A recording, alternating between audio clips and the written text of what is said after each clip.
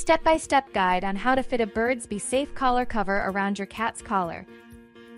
Step 8. Check the fit. Double check the collar to ensure it is neither too tight nor too loose. Ensure that your cat can comfortably move and breathe with the collar on. Step 9. Monitor your cat. Observe your cat's behavior after putting on the Birdsbesafe collar cover.